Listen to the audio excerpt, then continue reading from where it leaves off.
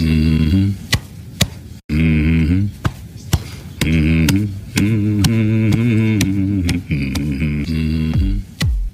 buenas habladores y bienvenidos a este vídeo corto en el que voy a explicar una de las herramientas más importantes para en el corto plazo utilizar la volatilidad a nuestro favor en las especulaciones, en las inversiones y que desde hace bastante tiempo no, no estabais viendo en los vídeos. Los que lleven más tiempo suscrito al canal se acordarán de estas gráficas de evolatility.com, que es la web que publica estos datos y de donde los saco, en el que se ve la relación entre la volatilidad implícita, en este caso este es el gráfico del SP500, la volatilidad implícita, la línea amarilla, coincidiría con el VIX, la volatilidad implícita que se espera para los próximos 30 días y la línea azul es la volatilidad realizada, la volatilidad histórica, este caso del SP500 en los últimos 30 días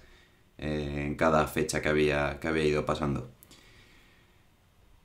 Como sabéis, siempre pues por la incertidumbre del tiempo, la volatilidad que se espera para el futuro siempre pues suele ser mayor y es muy interesante ver esos días en los que esa volatilidad para que se espera para los próximos 30 días aumenta o aumenta más que, la que, está, que, lo, que lo está haciendo la volatilidad de los últimos 30 días,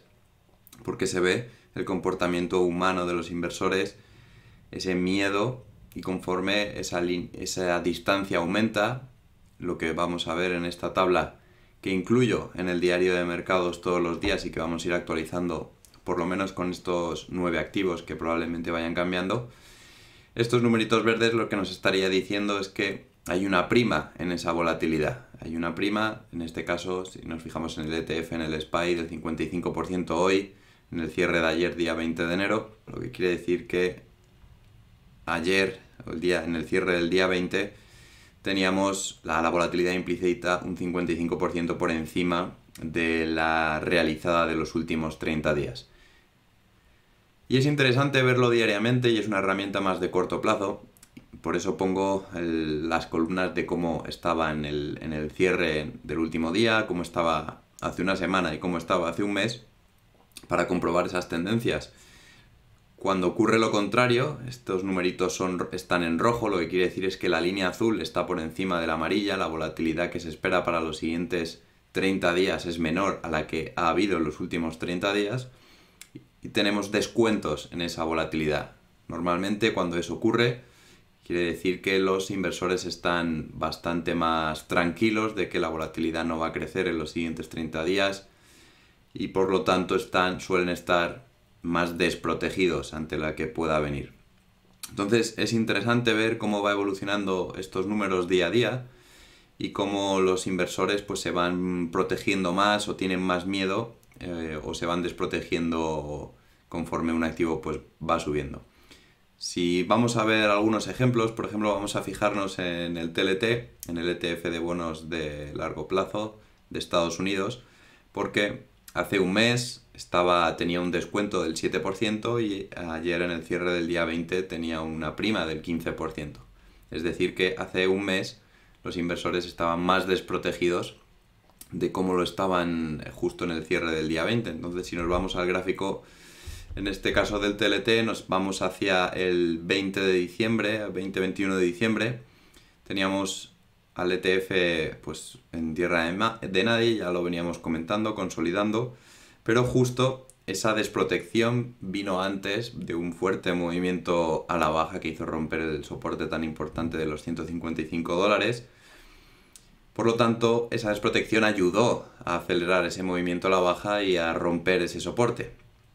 Después, ya con el cierre de ayer, vemos que la prima ha aumentado. Después de la caída,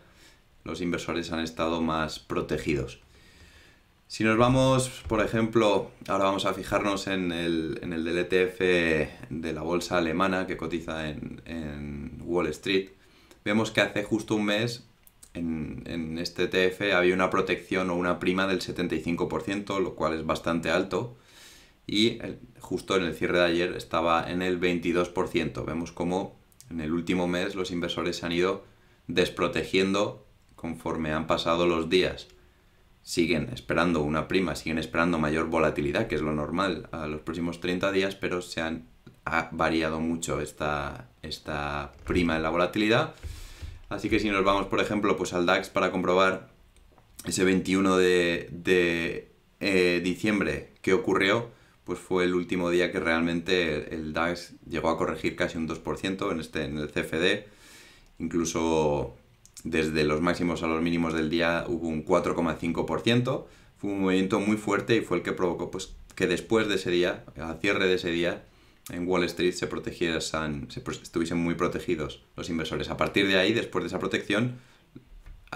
lo que favoreció o, fueron vientos a favor de seguir subiendo durante este último mes y al cierre del día de ayer, aunque esto es el, este es el CFD del DAX, no es el mismo ETF, al cierre del día de ayer estaban bastante menos protegidos que como estaban el día ese que, que hubo bastante volatilidad. Pues para eso se usa esta herramienta que como digo la incluyo a partir de ahora en el diario de mercados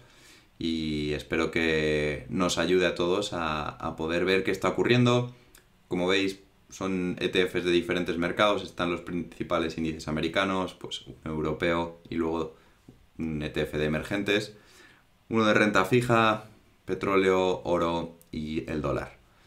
Así que nada, espero que os sea esto útil y a partir de ahora el que no lo conociese que, que lo pueda seguir. Un saludo y nos vemos en los próximos vídeos.